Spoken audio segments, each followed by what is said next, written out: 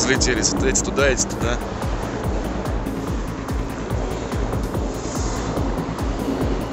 Чайки в шоке.